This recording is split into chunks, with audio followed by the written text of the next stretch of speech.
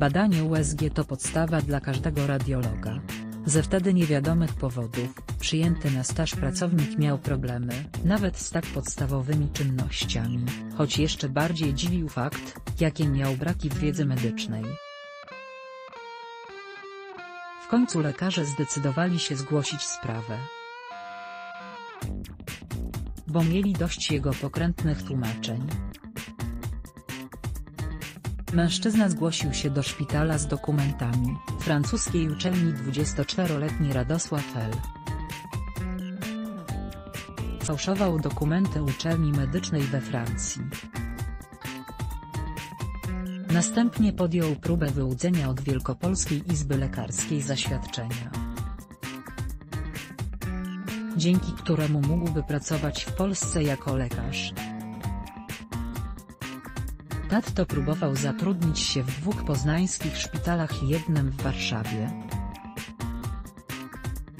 Na szczęście nikogo nie leczył, a jedynie przyglądał się pracy innych lekarzy. Wiosną 2019 trafił do szpitala im. Franciszka Reszei, w którym właśnie odszedł zespół radiologów. Radosław L.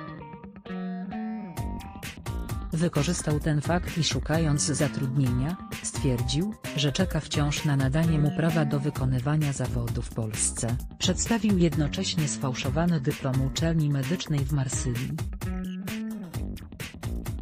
Nie zweryfikowano dokumentów i przyjęto go na staż, który ujawnił jego niekompetencje.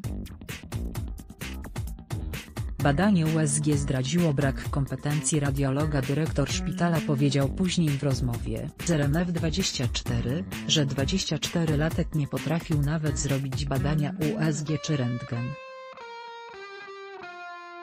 Jak relacjonowali lekarze, zachowywał się, jakby miał przyrządy po raz pierwszy w dłoniach. Tłumaczył się, że we Francji wykonywał badania głównie tomografem i rezonansem magnetycznym, dlatego gorzej obsługuje maszyny do USG i rentgen. Lekarze zauważyli u niego brak francuskiego akcentu, a także elementarnej wiedzy.